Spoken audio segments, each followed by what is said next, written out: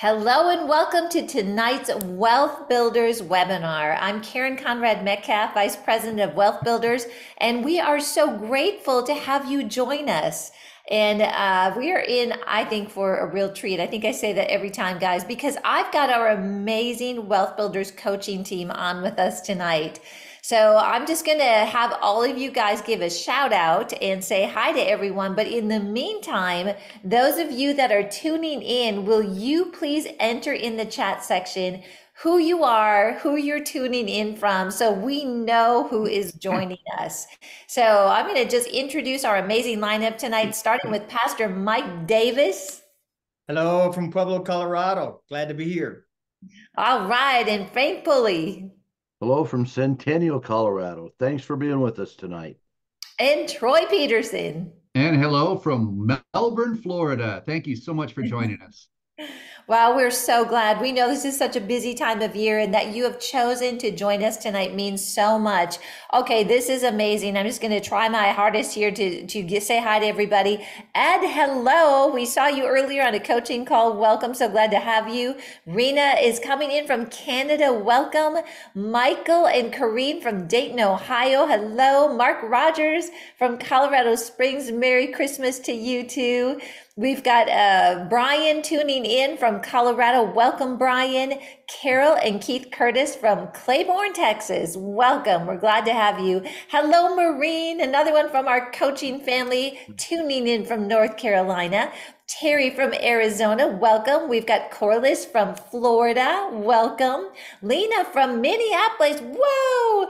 Oh my goodness, this is great. Church Three Degrees loves you. I love all of you. I am so glad that you are on Leanna, thank you so much for joining and tell everybody at three degrees high for me. We've got Linda from Missouri. We've got Doreen from Uganda. Wow, Doreen, welcome. Carl tuning in from Ohio. Pete and Patty, another coaching family there from Oklahoma. Welcome. Nina and David from Delaware. So glad to have you. Michael, oh, all right, from the Canaries, another coaching family, you and Mercedes. Christy from Longmont, Colorado. Welcome, Agnes from Pennsylvania. Don from Colorado Springs. Hello, Joe. Also, I know you're from Colorado, coaching family. Brittany from upstate New York. Sheila from Southern Maryland. We have got, oh my goodness, Anselm. I hope I pronounced that correctly from India. Welcome. We're so glad to have you. Terry from Wisconsin, the Midwest. Joseph tuning in from Trinidad. Welcome. We've got Gilbert tuning in from Lusaka. Wow, welcome, Gilbert. James from Pittsburgh. Uh, oh, that's so sweet, Leanna. Thank you. Tell them hi for me. Uh, we've got Deborah tuning in from the UK, another coaching family person. Beverly from South Carolina. Mary and Keith from Buffalo Lake, Minnesota. I love all these Minnesotans on here. Just telling you, I miss Minnesota this time of year because there's usually snow, but I hear there is no snow there. At least that's what my dad told me. All right, we've got Lydia from Memphis. We've got Ralph tuning in from the UK. We are so blessed to have you. I really think tonight's going to be a blessing for you. We're going to be focusing on, oh, thank you, Joseph. That, that's super sweet. Um, we're going to be focusing on the end of year financial checklist. Uh, and I just want to remind you that this is all leading up to the Wealth Builders Conference that is happening February 16th through the 18th. And exciting news Lance Wallnau, we were at dinner with them a couple weeks ago, and he's like, I want to come and be part of Wealth Builders. So we have added Lance Wallnau to the lineup, and we are so blessed for that. This is going to be an amazing conference. So if you've not yet registered, please do so. Go to wealthbuilders.org forward slash events. We've got the tickets at a low, low price of just $137, but they are going up January 1st. And we have four VIP tickets left. So if you want to be part of the VIP, meaning you want to have it just a closer connection to each other with networking, to the speakers, some access to hands on workshops, you want to sign up for the VIP. Again, wealthbuilders.org forward slash events. Okay, so we were talking today as a team and uh, we were actually emailing. We did talk quite a bit today as well. We had coaching calls, But we're going to give you an end of year financial checklist that is going to be super helpful. But we're going to start out giving you a bit of insight into what we can expect in 2024 in the real estate market because there are a lot of different things that are being said, a lot of what I was calling clickbait, just trying to kind of scare people. And we're going to try to clear all that up for you and then go into the financial checklist. So we are going to be taking questions. So I want to encourage you, if you've got a question, type it in the chat or the Q&A. And uh, we've got an amazing Wealth Builders team that is behind the scenes and they're collecting all your questions and they're forwarding that to us. We'll answer as many of those as possible. So make sure that you take advantage of this and then just know that this PowerPoint will be sent out to you because we've got over 40 slides and we're going to be moving pretty quick. All right, so guys, are you ready to get started?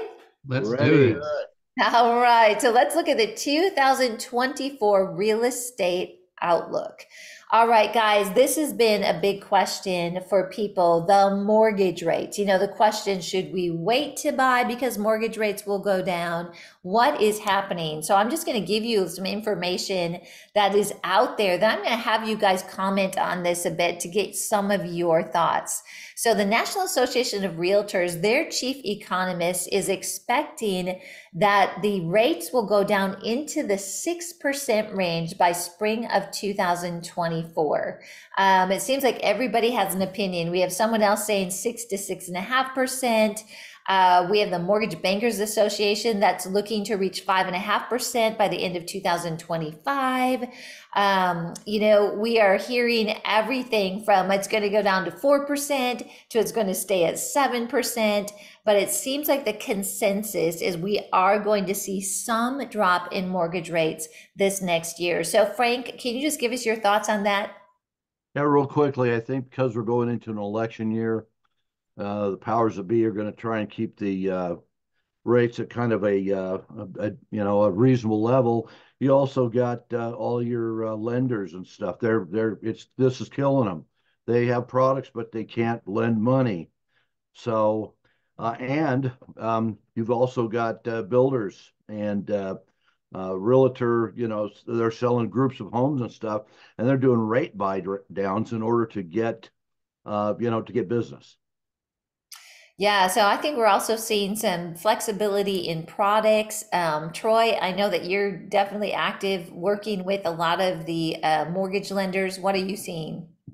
Well, I, I do think there's a lot of clickbait out there with this. Everybody's speculating what's going to happen with rates. It's uh, it's pretty easy to tell what's going to happen tomorrow when you understand what's already happened yesterday. And if you look at the last cycle we had like this, in 2005, 6, 7, we had a huge run up. The feds decided to start raising rates to cause a slowdown. They caused a slowdown, and then they had to lower rates to keep it from go- getting any worse. Now, although we don't expect anything near as bad as what happened in 2008, the same cycle could could go. So we've seen rates come up. They're going to have to come back down. The pendulum always swings back the other direction. It's just a matter of time. But I wouldn't let the rate be what decides your investment or not. It's all about cash flow. You're going to focus on the opportunity and the cash flow, right?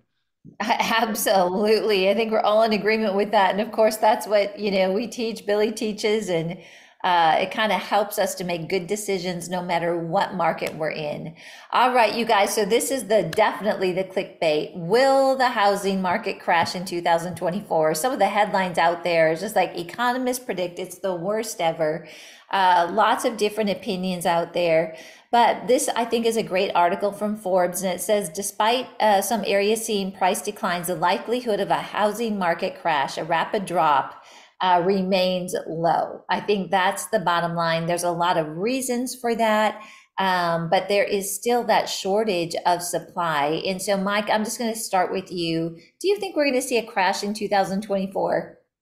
I don't have a crystal ball, but I do have the Holy Ghost. But uh, so I do not. And uh, it's just because of supply and demand. There is still a shortage of homes from coast to coast, Karen. That's awesome. And Frank, do you want to comment on that too? I just agree with what Mike says. No supply and a lot of demand. Very good. And uh, let's look at some home prices in 2024. Will home prices go down? Uh, really interesting. This is an article from bankrate.com. Housing prices have been on fire lately, culminating in historic highs. It's just talking about September. The median was 394,300 and it was only about 20,000 short of the highest monthly home price that has ever been recorded, which is in 2022.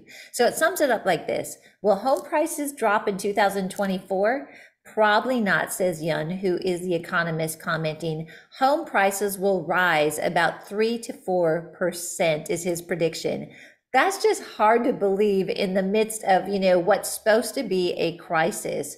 Troy, I'd love to hear your thoughts on this. Yeah, I've I've been in this for 30 years. I've seen markets go up, I've seen them go down. Are prices going to go down? Yeah, somewhere, but not everywhere where it's going to be a you're going to see differences in in the macro market. Look at your local market. We've got the supply and demand issues that have been pointed out and with supply being so low. No we're not going to see a tremendous decrease. I do expect a normal run of the mill cycle correction but not a crash and not a dramatic drop in prices.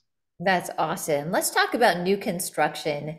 Although the National Association of Home Builders expects single family housing starts to increase 4.6% in 2024 to 946,000 permits after a cumulative decline of 21.2% over the past two years.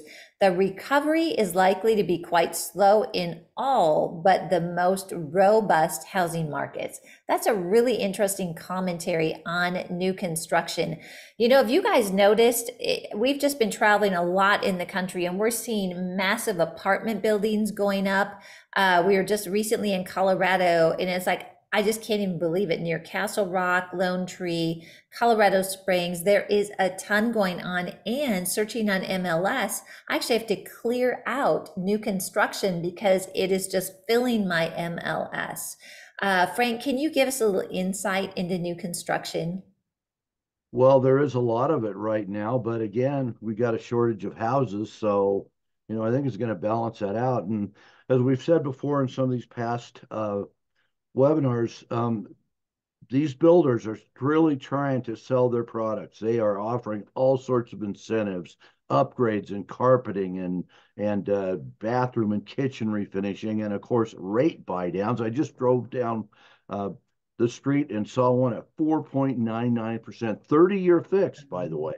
Wow. Yeah. So they're trying to move them with some financing. And this is a, a chart that I located in Statista. Uh, and this just shows the new construction, single family home construction starts back to 1980. Mike, I know that you've got this chart that goes back further. Can you give people a little insight into what this means in a historical perspective? Well, for the last 75 years, uh, the home prices have appreciated five to six percent in the last 75 years. You can take those great big dips and you can take the great big ups, but when it boils down to the last 75 years, houses have appreciated five to six percent, Karen. Yeah, and this with new construction, mm. part of what we're seeing right now is that this decade has had some of the slowest new construction starts in history, mm. which has added to the shortage of homes and has caused like that steady increase in home values. Oh, I I went the wrong direction, Karen. I'm sorry. You were talking about that. There's the statistics in the 30s. Let me just say this real quick. I'm yes. sorry. The the 30s they built the same amount of homes as they built in the year 2010 to 2020. So that's the same decade they built the same number of houses, and it went up uh, to, it's supposed to be averaging out to, I believe, 25 uh, million homes, and uh, we're nowhere close to that. We built the same amount that they did in the, the decade of the 30s, and that's why we're talking about supply being so low. It's going to take them a long, long time. So apologize about that. oh, no, that's fine. And that's what you're seeing here from 2010. You're seeing the new construction click up, but look at how much was lost during that time. And so that definitely has had an impact on what we are experiencing in the housing market. And even here, it had a dip and now it's coming back up. So, you know, I think there's opportunities in new construction, and that's where we can keep our eyes on as well. So now let's talk about the median sales price. This is a chart that shows this is very interesting. It goes all the way back to like 1950 and it shows just what Mike was describing that steady increase. Now, look what happened here in 2022. It was a huge spike. A matter of fact, if I'm reading this right, guys, this was the biggest spike in home values, median home prices that we have seen. Um, and we know that it's coming back down. But if you take a perspective on this, and this is that increase Mike was talking about, and you kind of draw that line, really where we're at today is following a very nice trend up. Uh, Troy, any comments on that? I, I, wish that we did have the ability to draw lines on this. I like to draw lines on charts, and we did break through the ceiling, the, the, the resistance, but the resistance is now the new support will will continue to go.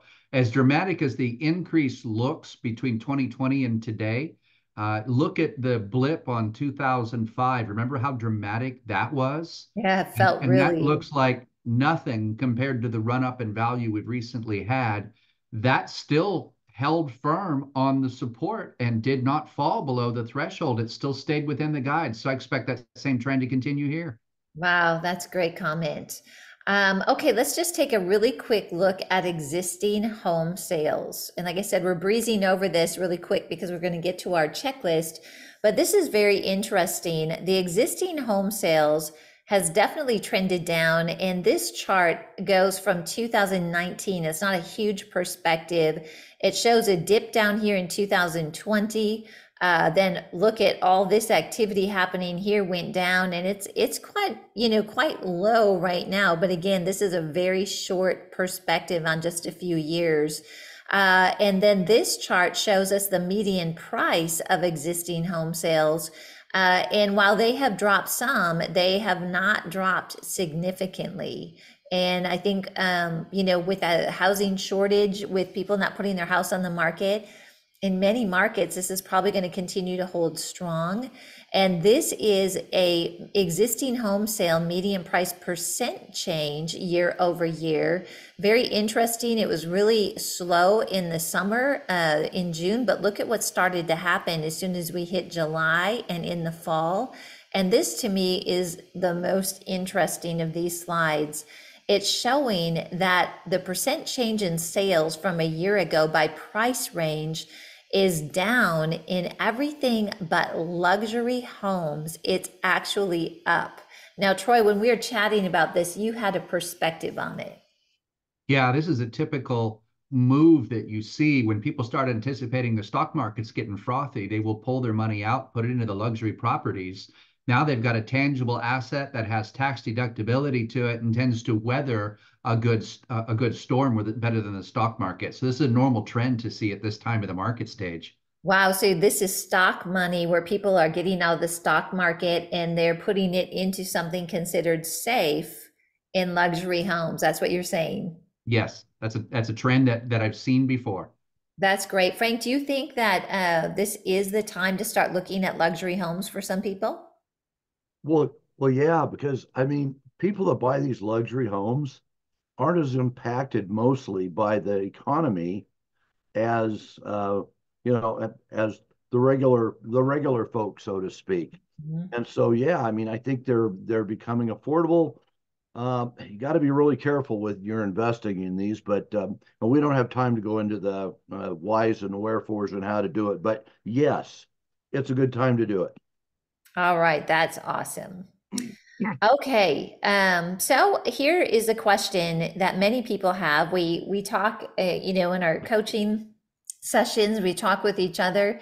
Is there an opportunity in real estate in 2024? And Troy, you put together some slides here that's going to take us through uh, what I'm excited to hear about since it is monopoly on opportunity. Yeah, well, this this actually came with kind of a, a, a just a, a, quick download I had over the weekend. I hosted my company retreat. And of course, what do you do when you get a whole bunch of real estate people together? You get out the Monopoly game and you see who's best. Mm-hmm. Uh, I, I, won't tell you my wife won, of course, but as we're playing Monopoly, I start to look at this and I realize that you know the numbers on Monopoly just don't make sense according to the principles that we teach. We teach you the one percent rule. Now, I happen to pick Illinois Avenue here because statistically it is the most landed on monopoly piece on the board. Well, Illinois sells for $240. Don't you wish you could buy a piece of land for $240 today? but the the base rent when you buy it is only $20. So that definitely does not meet our 1% rule. A $240 price to a $20 income, that doesn't work. So you don't look at it just on the 1% rule you have to look at it for the opportunity that's involved. And you notice how in Monopoly, we all know that game, you can increase the income. How do we increase the income? By development or improvement, right? Mm-hmm. So, what do we see ahead in 2024 for opportunity? I, we've heard a lot of people, a lot of our coaching people are coming in and they're talking about difficulty meeting the 1% rule. So we learn to look at it and say, well, gee, if I'm going to acquire this asset, how can I put a demand on that asset in order to, to, to bring in the income that it needs to bring to make it a viable investment? Well, the answer to that is let's look at what kind of, uh, of development or improvements we can do on it. Is there something we can do to make it a better long-term rental? And if there's not, and long-term rental is your focus, then you find the income opportunity in the right neighborhood in America that offers you that.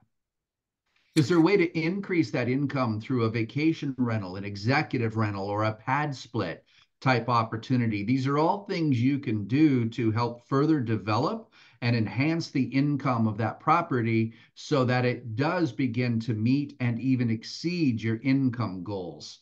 Uh, so just stay focused on the opportunity and look what you can do with it as you do move forward into 2024. That's really good, Troy. And you know, we have Bill Bronchick, our friend, on a lot, and he's been talking a lot about sub twos.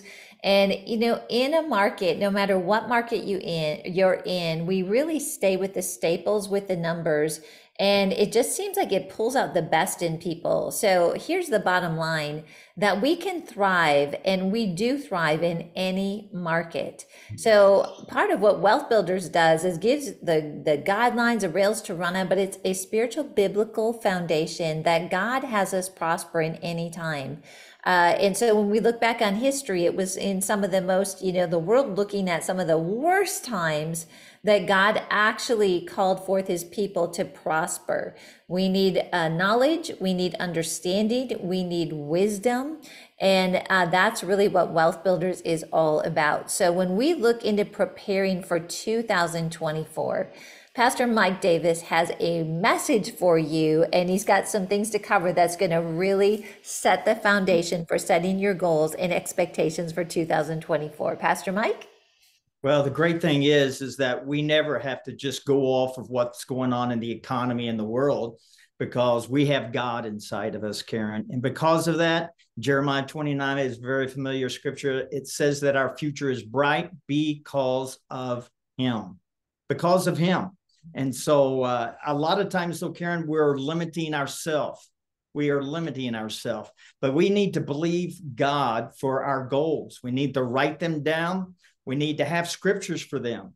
Have scriptures for each goal that you have and write it down. And don't just write it down in January and uh, not read it again, you know, in the spring. You know, if this is something that's burning on the inside of you, then this scripture needs to be burning off your tongue. It needs to be coming off your lips and believing that things are going to come to you. Billy says that that money is not pursued, it's attracted. And so the promises of God and the faith of God will cause that to be attracted to you, Karen. That's awesome. Um, so uh, believing God for your goals, write them down, have scriptures for them. And then what is your limit? In other words, how are you limiting yourself? And, you know, I encourage everybody to read this book, Don't Limit God by Andrew Wommack. You know, that's just a, uh, that'll turn your crank, so to speak. And so, because we all do that, we all limit God, but God wants us to stretch ourselves.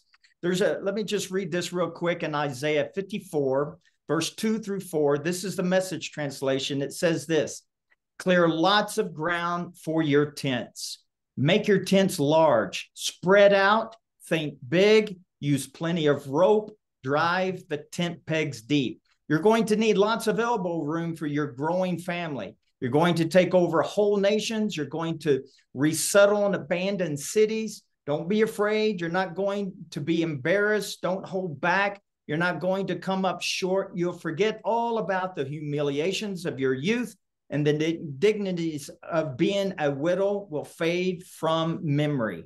And so God is just encouraging the children. He's always encouraging children. You know, let's let's increase. God is the God of increase even in the time of recession, even the time of bad economics. God says, I want to show myself strong that the world will know that I am God and I'm being God through the believers. Amen. And then the last one there, Karen, think bigger, dream bigger. God took Abraham out and he says, All right, Abraham, you're not thinking big enough. He says, I want you to look at the stars, Abraham. Abraham, you're not thinking big enough. Look at the sand, all of the sand. He says, Can you num- name or can you number the stars? Can you number all of this that I'm showing you? And of course not. He says, That's what I'm going to make your descendants. And so God has been doing that since the beginning of time. He wants us to think bigger, Karen. That is so awesome. Uh, do you want to share this quote too? Yeah, this is about Walt Disney and uh, what's going on at Disney World now. He'll be turning over in his grave. But anyway, he said the way to get started is to quit talking and begin doing.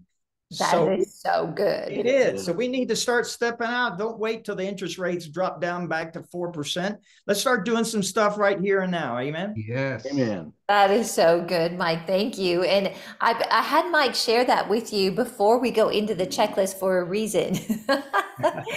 and I'll just share a little personal story we were Dave and I have been believing God for increase and you know acquiring more real estate, our businesses thriving and all of that. And I had this aha moment where uh, the Lord was just showing me that He would absolutely love to bring increase, but I had some practical things um, like accounting that were not in place. Okay. And so we know that God wants to do great things through us, but there is a practical side that you and I need to grab hold of to be good stewards, to be able to manage the blessing that God wants to pour on us.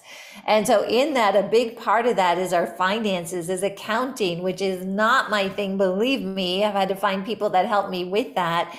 Uh, but this is the side, you know, Frank is going to give us, I think it's 12 things that we should look at at the end of year that to me is really going to help us get our net out so that God knows He can bless us with more and we are good stewards of that because He loves us so much. He doesn't want us to increase to the point that we get in trouble, right? Or we're not able to manage it because the Word of God tells us that He brings us increase and no sorrow with it. So here is the practical part of your financial checklist. I'm going to turn it over to Frank Pulley. All right. Well, first of all, as Karen said, you got to do something. And so does Walt Disney hard work and being organized and focused, that's going to uh, lead to your planning and that's going to lead to your success. So, item number one, and just roll them out, Karen. Yeah. Uh, you guys are going to get a uh, a copy of all this, so I'm going to go through it pretty fast. All right. First one on item one. Organize your receipts. Okay, hopefully you, don't have this huge box of receipts. Uh, organize them, input them into your uh, software. Make sure you register all your income and make sure you have chart of accounts. We'll talk about that uh, another time. Clean up your QuickBooks and your other accounting. Use your bookkeeper to do that. And then upgrade to a software that downloads directly from uh, your bank statements. So you don't have to enter them manually. All you have to do is just go in there and recalibrate uh, them as far as recategorize them depending on what they are. And you know, Frank, yeah. if I could just hop in there, yeah. I just want to say, like, as you don't do that, it grows to this big thing. Like, mm-hmm. oh my gosh, this is going to be impossible. But if you actually, I think I'm talking to someone here because you're in my situation. But if you actually like just dig into it, this thing that seems like a giant is is actually not a giant. And so if you're one of those people like I was that is like, no, I don't want to go there, just hop in there, get things organized. Your life will be simpler. Yeah, and it's a good point, Karen. I mean, I've got a bookkeeper and I've got an accountant, but I also earmark one hour every Friday to go through my QuickBooks and make sure that the receipts and that sort of thing are done. If you do it on a weekly basis, it's really easy to get done. And gosh, Troy, he works with I have I have no idea how many different uh, types of uh, businesses, but he gets it done. You want to meet with your accountant not after the year has begun. Meet with them before because you're going to want to give them your current financial statements, your balance sheet, and your P and L. Okay. Yeah, that's good. Um, I will just insert in there too that if you're if you are thinking about switching bookkeepers or switching accountants, download your documents Yeah. uh, at the end of year. And then you want to plan together, you know, there may be some things you can do before the year end. Even though there's only about 10 days left, there may be things that you can do. I mean, Karen talked about, you know, giving to wealth builders. There may be some things that you can buy, which I'll talk about in a bit, but look at your next year's goals and plan accordingly. You might ask your accountant, hey, can I buy myself some stuff that I need for my business? An iPad, a new laptop cell phone and some of the other essentials. You can write those off as capital expenditures. And those, uh, you know, uh, those really help uh, against your taxable income. So check with them. Clean up and organize your office. I mean, I'm looking at my desk right now, and I'm not a good example, but uh, but but normally my my desk is clean. But clean out file drawers. Get rid of stuff. Make sure that you get rid of non-essential documents, but shred them determine what you need and what you don't need. And better yet, uh, scan it all and throw it in your computer somewhere and make sure that it's secured. Keep essential documents safe. Make sure you have a clear space to work. And if you're a real estate investor, clean up your property files. You may have stuff, especially if you're uh, have done some closings and stuff like that, that has people's uh, you know social security numbers and things like that on there. You want to make sure that those are safe. Save your essentials for seven years all right? And if you've been uh, if you've been cheating on your taxes you better save them for a long time because the irs can't go back. Make sure you back up your computers. Now you can use like carbonite or mozy if you want. However a lot of us use Dropbox, uh, an external hard drive, um, Google Docs. All of those work well. You don't need all of them, but make sure that you have enough backup space, physical or virtual, in order to be able to do this. Uh, like uh, Google Docs and uh, um, uh, gosh, uh, Dropbox. I mean, you may need to buy more space. Don't wait till next year to start next year's goals. Do it now. Why wait till January 1st? Okay. Make smart goals. Okay. Specific, measurable, okay. Attainable, realistic, and time. Adjust them as needed. Look at what worked this year and what didn't work. Let's concentrate on what's working and maybe either refine or get rid of what didn't work. It's a good time to look at pruning, and I know that sounds painful, but it's really not. Uh, and Dave and I have just been talking about this a lot personally, going back and looking at where is the fruit, right? Where's the fruit in our life, and where's the opportunities that we are called to step into? But because we're not letting go of some other things that we're used to doing, we may miss that opportunity. So this is a great time to look at that. Absolutely. And um, we're doing pretty good. So, Mike, Troy, any comments on anything up to right now? Now, I agree with what Karen just said about pruning. It's not fun, but it's absolutely necessary. And Yeah. if you've got limbs that aren't bearing fruit or dead fruit, it might hurt to cut them off, but it's only your pride that it's hurting. It's really setting you up for a blessing for the future. So great, great addition, Karen. Amen. Pastor? Amen. That's good stuff. All right, we'll go to the next one then. Schedule an annual meeting. All right. All right, let's roll those out, Karen. Catch up your annual min- minutes. We're going to talk a little bit about our corporate entities. If you've got a an LLC, you don't need to do a lot. You should. But again, uh, you have to do some stuff to an S corp or a C corp, and I'll talk about that in a minute. But review what is working, what's not working. I say it twice because it's that important. Review your current finances, your pal, your P and L, your balance sheet, and your statement of cash flows. especially the first two. You're going to need those two in good shape if you plan on borrowing any money. Review and revise your goals. Talk to your accountant again on ex expenses on your annual meeting are deductible. You can go uh, and you know, my wife and I spent time at an Airbnb uh, in Eagle, Colorado for about four days and had our annual meeting.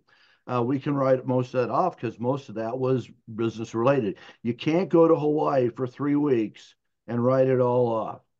Okay. Get your corporate records in order. Your LLCs, make sure you've got your members, managers for corporate corps and uh, C corps and S corps. Make sure again you've got your officers, shareholders, and meeting minutes. You're supposed to write minutes, and minutes are things that if you borrowed money, if you bought a house, if you uh, leased a car, that sort of thing. Periodic reports in most states, you have to annually report your entity. It's not very expensive, but it gets forgotten all the time. And once again, make sure you remember all of those special circumstances. Better to write them down and then fill them out more at your annual meeting than just try and remember at the end of the year. So, uh, Frank, is that just something where if people have had special circumstances or significant things, are you saying just that they should document it and then file it um, with their annual meeting notes, or? Well, they you certainly can run copies of that and do that, but you could in your meeting minutes would say, hey, you know, we had a meeting. Uh, and we determined that we were going to buy this property for this particular reason. We spent this amount of money and here were related expenses. It, it it's actually pretty simple, um, but you got to at least write it down. Awesome. Okay, great time to buy properties. Mm-hmm. Okay, banks like to get rid of them by the end of the year, although once in a while you can make an offer on a property in December and you can close uh, in January, but it's a busy month. Great opportunities on the MLS. Uh, if people are people that list these things are pretty motivated for the most part. But again, you're going to have to shoot for closing by the end of the year. And if you can't, then figure out a way that maybe you can still get that property. Yeah, we're just personally, I know Troy just went under contract on something too, but we had a property that we um, put a bid in on. We thought we had a deal. Someone came in, they said, no, we're going to give you a full price. And Levi said, you know what? I just have a feeling that that's going to come back around. And sure enough, it did. And now, because it's this time of year, if you're in a situation looking at a property, wow, I would take a run at that at a great price because the last thing it seems like people want to do is have to go into the new year and think about having to sell their property if it's been on the market for a while. So we've gotten our best deals this time of year, time after time, and I know you guys have as well. Oh, yeah improve your time management skills. We could spend a whole section on this, but throw away your paper calendars and use an electronic one. There's Outlook, there's Google. I like Google, but it's not the only one. Schedule all your important dates and appointments, your personal, your business, birthdays, anniversaries, holidays, time to do your periodic reports, your license, put it all on one and uh, or you can run two different ones. You can run a personal and business, but make sure you don't step on appointments.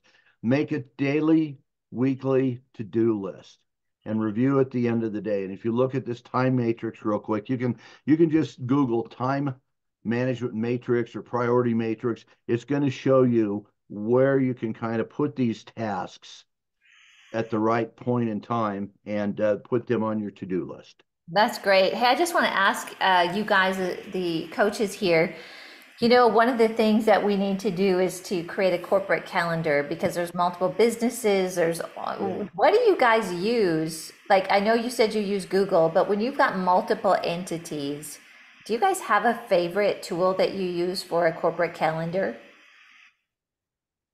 I, I still use Google because you can actually uh, have several calendars. And you can either share those back and forth or you know or uh, you can look at one but then you can kind of look at all of them together. Troy what do you do? I'm using a microsoft exchange platform right now and i like that because i can take all my calendar events and combine it on one calendar and it syncs across all my devices for easy access yeah That's awesome. Mike, what do you use? I use Apple. I'm the the the funny guy looking out here, and the reason we, we like Apple is it's kind of like what Troy did. There's several different calendars, and uh, they're all shareable with my wife, so she can keep tabs on everything. And so, but it's all incorporated into one space, into one calendar. And That's there's great. little, yeah, there's a little pain starting to use one of these, but I'm telling you, once you get used to it, you'll never go back to just some old paper calendar. Because if Yeah. you forget your calendar at work, you have no idea what's happening the next day. If you forget it at home, you have no idea what's happening that day or, or beyond that. And ask me how I know this. I was going to say, ask me how I am asking these questions because I've been double and triple booked, which you guys know. Yeah. Yeah. So we're really working on this. You know, these are things that to scale up. You know what? We gotta we gotta deal with these things. I really appreciate it. Okay, Frank. You're never going to know it all. Just mm-hmm. like the scripture, right? Pastor Mike, there's, I mean, you could study it forever and not know it all. Same with real estate. So you have some, you have some resources. Wealth Builder University. LegalWiz.com, if you're one of our coaching students, you get access to Bill Bronchick's site that has over 18 different courses in business and real estate. You get access for life. Local business gatherings are a good way to go. Retail or real estate associations or meetups. Um, title companies offer different types of courses at low prices. Um, real estate uh, companies that work with investors, they offer education too. So, no reason not to keep up on your education. You know, when you're a real estate agent or a insurance agent, you know, we're required to take continuing education to keep things up. But um, when we're not in those, it's really kind of a discipline or a making space for it. Uh, but this could be one of those good goals. Like if you end up, if, like for me, I end up so busy. It's like the I'm not leaving space for. I need to read. I need to learn. Certainly, Yeah. you know, there's other. We learn all the time through conversations. But I really appreciate you bringing this up because there's a lot of changes in the market. There's changes legally happening. There's legislative changes. And so when we can keep in tune with those, it keeps us sharp. Plus, it keeps us creative, you know, thinking outside of the box. So this is so good, Frank. Thank you. And finally, this will go in line with what we all believe increase the spiritual and personal growth aspect of your business. Hey, learning about real estate or your business is great, but you've got to personally grow and you got to spiritually grow. So here are some things you can do. Remember to create some reflection, scripture, prayer time every day. Organize volunteer giving back programs. That's just the Christian thing to do support and observe work life balance for the people that work for you and for yourself. Align your business with ethical standards and practices and encourage and practice daily gratitude. Wow, that is so good, Frank. Um, Mike, I'd love to hear some of your comments on this. Well, I think it's all awesome. And just as far as uh, wealth builders goes, we all know it's a 501c3, it's a tax exempt. And so I'll pull uh, on this little tab for a second because, you know, I believe Billy and Becky's on their heart, not just to reach the state of Colorado, not just to reach the, the continent uh, of the United States and North America, but their goal is to go around the world with the gospel, with the good news, to help people to make sense of making money to make a difference, Karen. And so it's been a big impact, what you've been involved in in South Africa that reaches all the way up to the northern part of Af- Africa. And so uh, this is a great time for people that are just tender in their heart. You know, a lot of times people say, you know, well, I'm just want to be led. But you know what I've come to find out, Karen? You know, God says, where do you want to give, Mike? Just give, and I'll make sure that you have the ability to give. It says that Second Corinthians that he gives seed to the sower. So if you want to sow, this is a great place to sow. Amen. Oh, Amen. that's so sweet. Thank you so much, Mike. Um, you know, Troy, when we were emailing a little bit earlier today, and I was asking you guys, you know, what are some things we want to share for end of year? You were talking about discouragement, and I think there is, I think a lot of people deal with discouragement. And so I just wanted to give you an opportunity to maybe um, share with people on that, encourage them. You guys, you chime in too. And then we've got some questions that we will answer to finish up. But I think this is an important topic.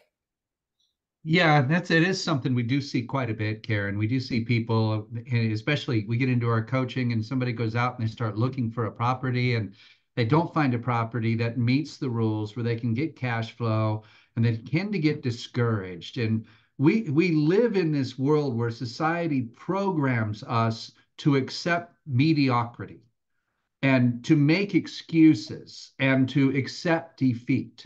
So we often will, will hear, I tried and it didn't work, so I just quit. Well, that's really just discouraged. Proverbs says that, you know, a righteous man will try seven times, but he gets back up eight. We don't fail. God wants us to keep going. It's the process of gaining wisdom. As Amen. Billy says, wisdom comes through experience. So uh, we don't want to get discouraged when we're out there looking for things because often what will discourage the masses creates an opportunity for you and for me. Mm-hmm. So if we run across an obstacle that appears to be discouraging, and everybody around us is discouraged by it, the first thing you want to look at is say, well, gee, if they're discouraged by it, are they the person I want to take advice from? Uh, another way to say it is, are you taking financial advice from a broke person?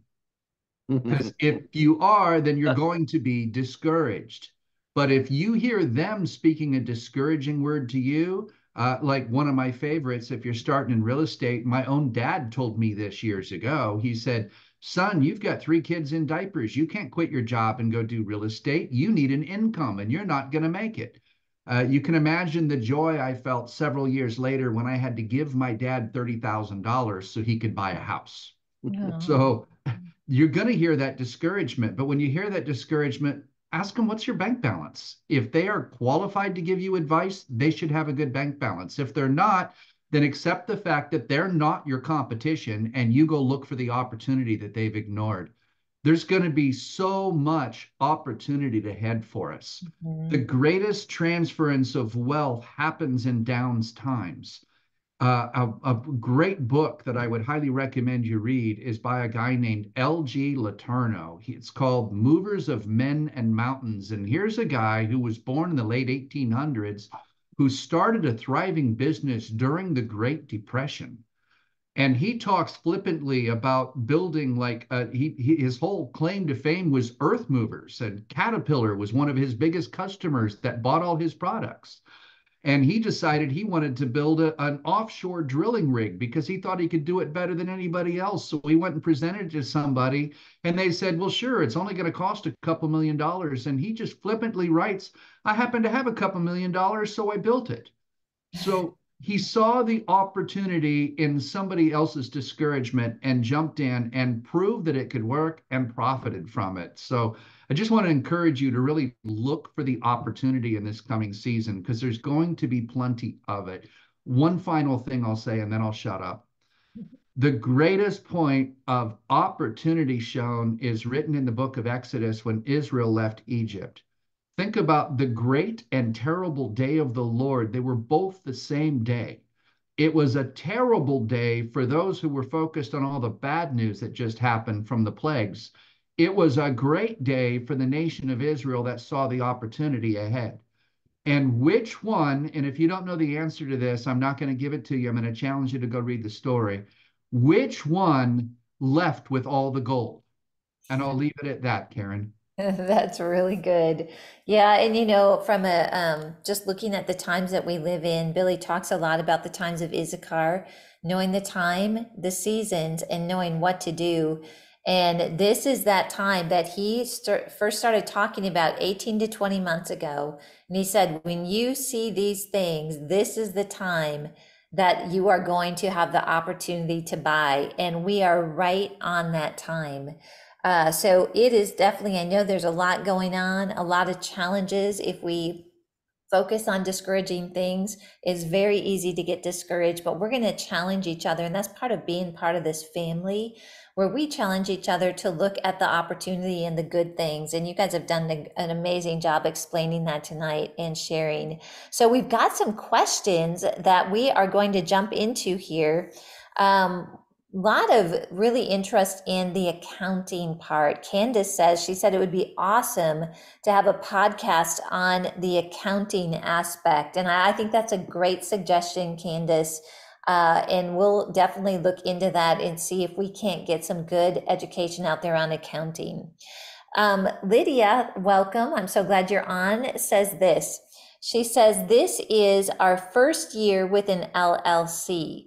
We started a midterm rental in a different state. Any recommendations on how to find a solid accountant? Mike, you are our team guy, so I'm going to start with you. Well, I think a great thing is if you go to the, uh, uh, I just went blank, the, the, the city that has, in your city, you have a real estate, um, what's the word? RIA. Yeah, RIA, where uh, that is a great place to find uh, a great accountant because, you know, most of those guys, all investors that I've come across, they want to help out. And so you can just start talking to them and saying, Hey, do you have a great accountant? And if you have a great realtor or great property manager, ask them uh, about their accountant. And so, and then you need to interview them once you do find them, Karen. Yeah, that's really good. Frank, anything to add to that? Well, just make sure that they know real estate.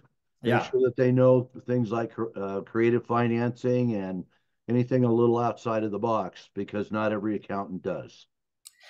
Yeah, and what um, we're moving back to Colorado. A lot of you know that, and so I reached out to um, I reached out to a lady that used to do the bookkeeping for one of the guys that did I know a ton of flips that I worked with, and she doesn't do it anymore. But I asked her, who would you recommend for an accountant? So if you know someone that's in the similar business and ask them for a recommendation, you know, not only are they going to kind of be there to advocate for you a bit, but also they're uh, doing the same thing you are. And so they're going to help you to locate someone. All right, Lydia also asked, and Troy, I'm going to have you explain this. What is the 1% rule? She said this is a new term to her. That's a great question, Lydia, and it uh, it really is. It's it's a guideline more than it is a rule. And think about it as a quick litmus test that we use to determine if a property we're wanting to look at needs a deeper dive. And really, what it says is your monthly rent should be one percent of the purchase price. So to make it real simple, uh, hundred thousand dollar house should rent for a thousand dollars a month. That's your general one percent rule guideline. Great question. Yeah, thank you, Troy. It's a great answer. So Jenny asked this, what is a PadSplit? I don't know what that is. So does one of you guys know? PadSplit is kind of a new hybrid of uh, it's it's a form of house hack. Uh, PadSplit is actually also a company. I've met with the owners of this company. They do this across the country. They will do a master lease on your property, and then you can start renting out each individual rooms. You could take a four bedroom house that might rent for 2000 a month and turn it into a $4,000 a month income with minimal effort. Uh, so it's just another version of house hack, and it's a great way to alternatively increase the incomes on your property. Awesome. Uh, Gilbert has a great, great question. And Mike, I'm going to go to you on this because we actually have a whole teaching on this. He says, I'm building my real estate and I wanted to find out if there are variations to the 1% rule or other rules that he can employ. We actually have a whole coaching uh, session called Alternative Rent Ratios. So, Mike, can you explain that? Yes, if you put down 20 to 30%, of course, a lot of people even say, well, I want to pay cash. You still need to follow these guidelines. And so if you put down 20 to 30% would be the max. If you figure out your PITI, your principal interest, taxes, and insurance, and when you make that payment, and then you find out the rent, Billy says the most important question is not how much it costs, but what would that property rent for? And so if you figure out how much it rents for, and then figure out your PITI, with 30% down as the maximum, it should cash flow $300 for an individual door, uh, 200 for a duplex, at least 100 to 150 for a fourplex. So that would be an alternative instead of the 1%. We want you to cash flow. And I'll say one other thing just real quick too.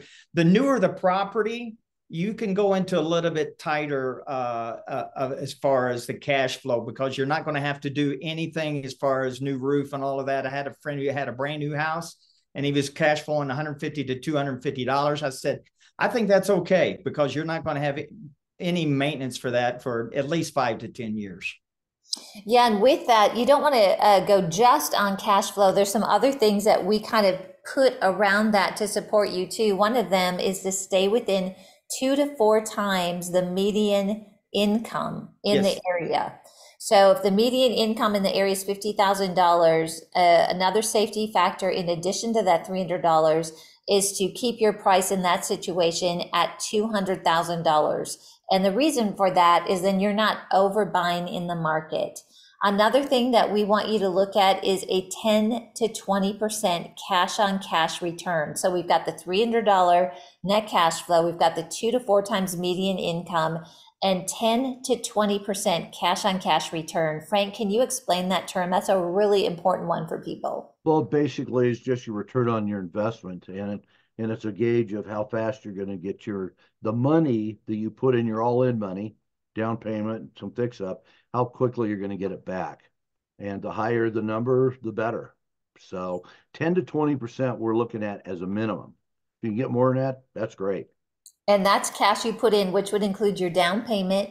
Yep. Um, if you have to put cash in to put a fence in or do improvements, because you want a good, there is always a risk involved with real estate, even though we know historically it is really the best. That's how people have made money year after year, and we show you that but you still want to compare it to investing in other types of investments. So for that, if you have to put a lot of money into it, your down payment, you want to put a demand on that return in that range of 10 to 20%, in addition to $300, in addition to 2 to 4% within the median income.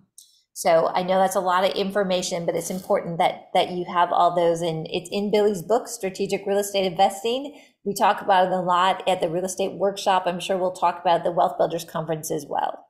Uh, Troy, can you, someone wants to know, can you repeat the name of the book that you mentioned? Absolutely. It is by L.G. Letourneau, and it is called Movers of Men and Mountains, or I'm sorry, R.G. Letourneau. Awesome. Thank you so much. All right. So Brittany has got another team question here. Uh, and she says, How do we find a team? We did talk briefly about an accounting, but then she she's talking about an attorney, um, you know, probably a real estate agent. How do we find people that are Christian based? And so who would like to take that one? I'll jump on that one. So it's nice to have somebody that you work with that is of like faith. But Jesus also told us to make friends with unrighteous mammon. So for me, I don't get hung up on what somebody's faith is. I look for honesty, I look for integrity, I look for wisdom, and I look for experience. And if they've got those things, the faith can spill over. Uh, I also think of a story from Bill Bronchick who worked with Billy for years. And I remember being at a wealth builders conference with him a few years ago when his hand went up. And to hear Bill tell the story, he looked up and there's his hand up when somebody called and said, Do you want to be filled with the Spirit? And, and he told me, he asked Billy, Hey, Billy, I've worked with you for years. How come you never said anything? And Billy says, If you get close enough to the pond, you're likely to slip and fall in. So, I tend to think that I'm not worried about where their faith is. I'm worried about will they benefit? And then I'm going to let my faith shine to them in the process and let God deal with the rest. And yeah, I love that. Stay with the honesty, the integrity, the character. Those are things that you're always going to be looking for. And I, think that's a great answer. Thank you so much. Okay, so um, Gilbert says, thanks for this powerful insight. He really believes real estate will transform his business. Do you have resources for school owners? He's built a school in 2018, and due to COVID, he could not open it. And now he is hard pressed trying to open in January. And Gilbert, I think from what I'm reading here, that you are um, maybe in Africa, is what I'm thinking in Zambia. Um, but anyway, I think it's a great question. So, someone that maybe has a commercial building, they weren't able to put it to work the way that they initially thought. What can people do? Frank, do you want to take that? Well, I mean, if they've got a commercial, here's, here would be a real win. You got somebody that's got part of a commercial building and it's vacant. And, and they're operating part of it, but they still need another tenant. And you might be able to get yourself a, a really good deal initially on a, uh, on- that part of the building. That's really good. And also, um, Gilbert was asking about just more information on real estate in Africa, and we are actually launching a master class in Africa soon. Um, so you'll hear more about that. We've got a lot of exciting updates with Africa coming, and we definitely, uh, matter of fact, my Uber driver last night is a buying real estate in Nigeria. It was such an interesting discussion, but we really believe Africa does have that opportunity, and you will hear more from us on that in the coming weeks and months. And then finally, real quick question Sharon is wondering if there's another accounting software that you guys use other than QuickBooks. I've been asking that same question. We've been using QuickBooks for years. I, I'm not a fan of the QuickBooks model, especially since I now have to have an online account for every individual company that we operate. And that to me is just too many accounts to log into.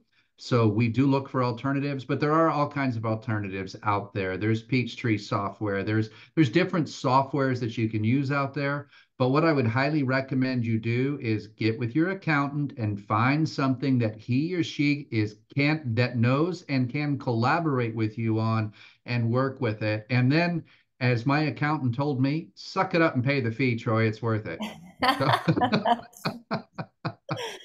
Okay, any, do you guys use any, I've, I've worked with Peachtree at a bank, but we definitely use QuickBooks.